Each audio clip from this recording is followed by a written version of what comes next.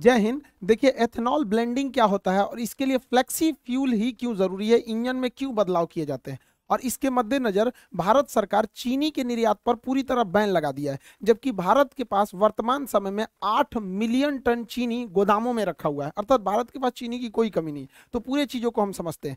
देखिए ethanol blending मतलब क्या होता है? पेट्रोल में जब इथेनॉल मिला दिया जाता है, इथाइल अल्कोहल तो उसे मिक्सचर ना बोल के ब्लेंडिंग बोला जाता है। ये फ़ायदेमंद होता है, इससे थोड़ा सा पेट्रोल का पैसे बच जाते हैं। इसमें पचासी परसेंट जो होता है, वो पेट्रोल होता है पंद्रह परसेंट जो होता है, इसमें इथेनॉल होता है। हालाँकि भारत सरकार का टारगेट है कि 2025 तक इसे 20 परसेंट इसमें एथेनॉल मिला देना है। और एथेनॉल मिलाने की क्रिया को एथेनॉल ब्लेंडिंग कहते हैं। ऐसा क्यों किया जा रहा है? क्योंकि भारत के पास बहुत ज़्यादा ऑटोमोबाइल इंडस्ट्रीज़ है। हमारे पास दुनिया में थर्ड नंबर पर हम लोग आते हैं ऑटोमोबाइल सेक्टर में। हमारे तरफ़ भारत में कई अलग अलग टाइप की व्हीकल्स बनते हैं, जिसमें 26 million vehicles per year Bharat में बनाए जाते हैं। इस 26 मिलियन व्हीकल में से लगभग 5 मिलियन व्हीकल्स हर साल 5 मिलियन व्हीकल्स हर साल हम लोग निर्यात कर देते हैं।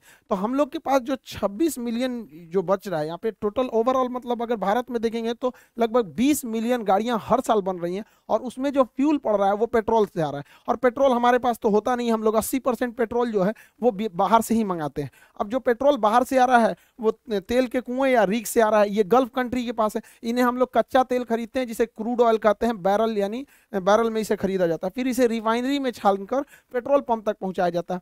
इससे क्या है कि हम लोगों का एक बहुत बड़ा पैसा विदेशियों के पास चला जाता है कच्चा तेल खरीदने में। आप अंदाज़ा नहीं लगा सकते हैं कि भारत सरकार प्रति साल कितना विदेशी लोगों को, यानी गल्फ कंट्रियों को कच्चे तेल के बदले पैसा देती है। पैंसठ बिलियन डॉलर देती है। पैंसठ बिलियन डॉलर कितना हो गया? पचास खरब, इकतालीस अरब, सत्रह करोड़ संतावन लाख पचास हज़ार रुपए प्रति साल। भारत सरकार का पैसा जाता है। हम लोग टैक्स पेयर का पैसा विदेशियों के पास चला जाता है, जो केवल ज़मीन से निकाल के पेट्रोल दे देते हैं। अब सोचिए ना, जैसे हम लोग के यहाँ अगर कोई पानी खरीदता, साठ रुपया लीटर तो कितना अमीर हो जाते हैं हम लोग? तो इतना पैसा जाता है। सोचिए, अगर इस पैसे का हम 20 परसेंट टारगेट रखे हैं कि इसमें पेट्रोल के जगह इथेनॉल मिला देंगे तो इसका 20 परसेंट कमी आएगी ना? सोच सकते हैं, निकालते रहिएगा, इसका 20 परसेंट कितना ज़्यादा होता है। इसीलिए हम लोग एथेनॉल को कर रहे हैं। और एक बार एथेनॉल सक्सेस हो गया ना तो बीस की जगह तीस करेंगे, तीस की जगह पचास परसेंट कर देंगे और धीरे धीरे करके एट्टी परसेंट कर देंगे। तो एट्टी परसेंट कर देंगे तो इन लोग को पैसा देने की ज़रूरत क्यों है? इथेनॉल हम लोग खुद ही बना सकते हैं। ये नहीं बना सकता है इथेनॉल। इन लोग को उतना टेक्नोलॉजी नहीं है। एथेनॉल जो होता है C two H five O H होता है एथेनॉल इसे इथाइल अल्कोहल कहा जाता है। इसका आई नाम एथेनॉल हो जाता है। शराब बनाने के काम में यही आता है। शराब में भी इथेनॉल ही मिलाया गया रहता है।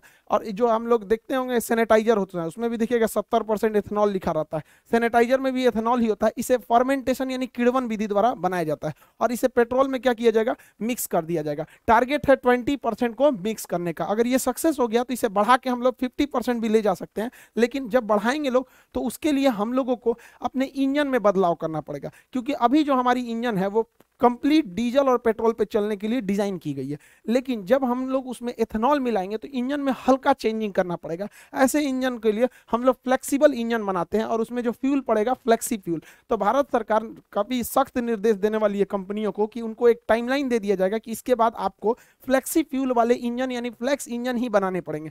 याद कीजिए, दो का जब समय था, दो हज़ार सत्रह में सत्रह के लास्ट में सरकार ने कह दिया था, सुप्रीम कोर्ट ने आदेश दे दिया था कि अब बी एस थ्री की गाड़ियाँ नहीं चलेंगी, सब चलेंगी बी एस फोर रातों रात बेच के हटाना पड़ा कंपनियों को। उसी तरह सरकार भी इन लोग को अभी वार्निंग दे रही है, फिर कभी सख्त आदेश देगी, उसके बाद एक बार फैसला सुना देगी तो सारी कंपनियों को अपने बी एस सिक्स के जगह फ्लेक्सी फ्यूल डालना पड़ेगा। इससे काफ़ी ज़्यादा फ़ायदा होता है फ्लेक्सी फ्यूल से। सबसे पहला कि प्राइस घट जाएगा पेट्रोलियम का। प्राइस इसलिए घटेगा क्योंकि बाहर से मंगाना नहीं है, हम लोग का प्राइस घट जाएगा। दूसरा कि फ्लेक्सी फ्यूल अगर रहेगा एथेनॉल रहेगा तो एथेनॉल इथेनॉल में पोल्यूशन कम होता है।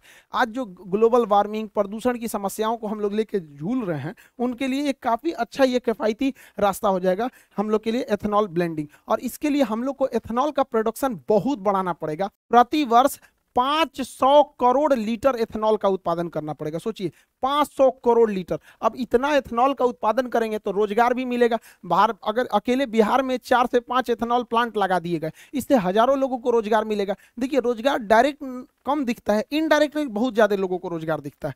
तो कहीं पे भी अगर देखिएगा किसी एरिया में, अगर वहाँ 20 भी फैक्ट्री आ गई ना 20 फैक्ट्री तो कम से कम दस हज़ार लोगों को रोज़गार मिल जाएगा। तो आप ये मत देखिए कि 500 करोड़ लीटर प्रति वर्ष, इससे डायरेक्टली इनडायरेक्टली बहुत लोगों को रोज़गार मिलेगा, क्योंकि उसका एक पूरी तरह सप्लाई चेन बन जाएगा। कैसे? कि एथेनॉल बनता कैसे है? अनाज को सड़ा कर यानी जो हम अनाज फेंकते हैं ना, उसी को सड़ा के इथेनॉल बना लिया जाता है। तो एक तो वेस्ट बचेगा हम लोग के यहाँ। दूसरा, इसे गन्ना से बनाया जा सकता है। चावल जो टूट जाता है बाज़ार में सस्ते दाम पर बिक जाता है किसान का चावल टूट गया तो उसको खुद ही बन जाता है। तो उसी चावल को सड़ा के ये इथेनॉल बना लेता है।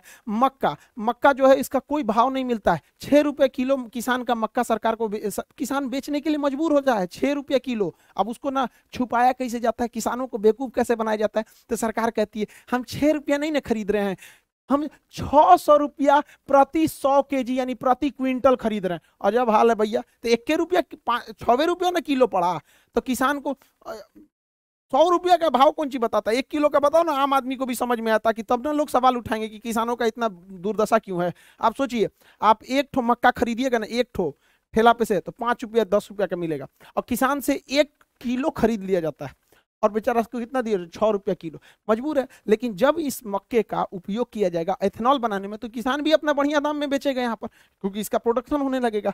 जौ जौ कोई बोलता नहीं है जल्दी हमारे यहाँ, पराली जो जला दिया जाता है, धान की भूसी जो होती है या फिर जो पुआल होता है जला दिया जाता तो उसे सड़ा के इथेनॉल बना लिया जाएगा।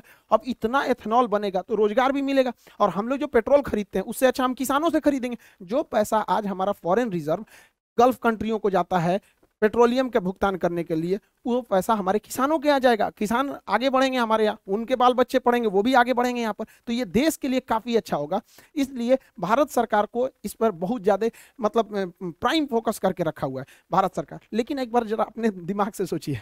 ये चीज़ तो पूरी दुनिया में सक्सेस है और भारत में भी सक्सेस होगी। तो धीरे धीरे गन्ना शिफ्ट हो जाएगा किधर? एथेनॉल प्लांट में। और जैसे गन्ना ज़्यादा एथेनॉल प्लांट में शिफ्ट होगा, चीनी का उत्पाद, चीनी का प्रोडक्शन घटेगा, उसका प्राइस बढ़ जाएगा। तो भारत सरकार को एथेनॉल और चीनी दोनों को बैलेंस करके रखना है। इसलिए भारत सरकार ने चीनी के निर्यात पर बैन लगा दिया। कहा कि हम चीनी बेचेंगे ही नहीं, क्योंकि फ़िलहाल जो चीनी है उसी को हम लोग स्टॉक करके रखेंगे, ताकि हम जो आने वाले सीज़न में जो गन्ना निकलेगा उसमें ज़्यादातर गन्ने को एथेनॉल प्लांट में भेजा जाएगा।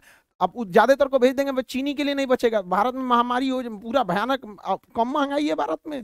तो चीनियों महँगा हो जाएगा यहाँ पर। इसलिए इस पर निर्यात पर रोक लगाया गया। हालाँकि भारत में चीनी का प्रोडक्शन बहुत ज़्यादा है। चीनी का प्रोडक्शन 35 मिलियन टन है हम लोग के पास, चीनी का प्रोडक्शन हालाँकि इसका उत्पादन जो है, वो 27 मिलियन टन है। यानी 8 मिलियन टन एक्स्ट्रा हमारे पास है। 35 मिलियन टन उत्पादन है 27 मिलियन टन चीनी का उपभोग है। चीनी का डेली रे, रेगुलर बेसिस पे उपभोग होता है हम लोग के यहाँ चाय में होता है बिस्किट में होता है तरह तरह की कैंडी मिठाइयाँ छोटे बच्चों के लिए खाने के लिए आता है लेमचूस उमचूस यहाँ पर मिठाई देखिएगा जलेबी रसगुल्ला जितना सब चीज़ में चीनी पड़ता है हमारे यहाँ चीनी और जो पैकेट वाली सामानें बिकते हैं कभी मंच तुका दुका कीट कैट उट कैट ये सब छोटका लड़का ज़्यादा जानता होगा सब हम लोग को कौन चीज़ पता है सब? मतलब वो सबको तो यहाँ पे जो है ना, ये इस सब में चीनी पड़ता है। तो चीनी का हमारे यहाँ डिमांड बहुत ज़्यादा है। सत्ताईस मिलियन टन प्रतिवर्ष डिमांड है। तो हम लोग के पास पैंतीस मिलियन टन उत्पादन है, सत्ताईस मिलियन टन खर्च है। यानी बफर स्टॉक में हम लोग के पास अभी भी आठ मिलियन टन जमा है। बफर स्टॉक किसे कहते हैं? सरकार जो अनाज को सरप्लस उत्पादन के समय जमा कर लेती है गोदामों में, उसे बफर स्टॉक कहा जाता है। बफर स्टॉक रखने की ज़िम्मेदारी फ़ूड कारपोरेशन ऑफ़ इंडिया को है, एफसीआई को है। बड़े बड़े गोदाम होते हैं, इसी में रखा जाता है। छोटा मोटा नहीं बड़ा सा गोदाम होता है। इसे ही कहा जाता है बफर स्टॉक। इसलिए भारत सरकार क्या की है, फ्यूचर प्लानिंग में बैलेंस न गड़बड़ाए, महँगाई का और सप्लाई का, इसलिए इस पर बैन लगा दिया गया अभी आप देखे होंगे, चीनी पे बैन लगा दिया गया, गेहूँ पे बैन लगा दिया गया, चावल पर बैन लगा दिया क्योंकि टूटे हुए चावल से भी मेथनॉल बन जाता है। अभी तुर्की जो है, गेहूँ को वापस कर दिया। देखिए, बहाना करके कि इसमें वायरस था। तो जरा अफ़गानिस्तान के लोगों के लिए वायरस नहीं है। आईएमएफ कह रहा है कि प्लीज़ गेहूँ दे दीजिए। ये लोग को बहुत बड़ा दिमाग हुआ है। ये एक्चुअली देखिए क्या है कि तुर्की क्या देख रहा है कि वो रूस के करीब है। तुर्की जो है, वो अमेरिका को बैलेंस करके चल रहा है यूएसए को चिढ़ाने के लिए, क्योंकि तुर्की जो है, रूस से सटा हुआ है और रूस के पास गेहूँ की कोई दिक्कत नहीं है। और रूस के इस एरिया में, चेचन्या वाले एरिया में आराम से ट्रक से गेहूँ आ सकता है तुर्की में। तो ये देख रहा है कि इसी बहाने हम तुर्की देख रहा है रूस से व्यापार बढ़ा लेंगे। और अपने आप को हीरो बनने के लिए भारत का गेहूँ वापस कर दिया है। यही गलती किया था मलेशिया, यही गलती किया था इंडोनेशिया, पाम ऑयल को लेकर। इनको घमंड हो गया था पाम ऑयल को। आज इनका पाम ऑयल कोई खरीद ही नहीं रहा है यहाँ पर। तो ये लोग कह रहे हैं कि पाम ऑयल खरीद लो। देखिए इंटरनेशनल रिलेशन में ईगो नहीं दिखाना चाहिए इनको। ज़्यादा ईगो इनको महँगा पड़ जाएगा वहाँ पे। मत लो गेहूँ, कौन मार? हम लोग के यहाँ गोदाम का कमी है।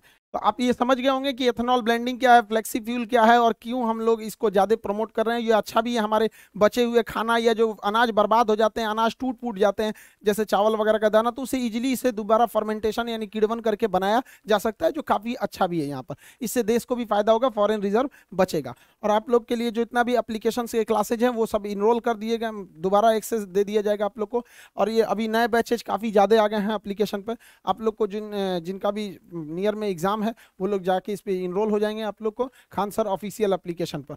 और जितना जल्दी से जल्दी हो, आप लोग कहीं जल्दी जल्दी सेटल होइए, नौकरी लीजिए, और जल्दी से माँ बाप का सपना पूरा कीजिए। आई होप आप इस टॉपिक को समझ गए होंगे। मिलेंगे नेक्स्ट क्लास में। जय हिंद।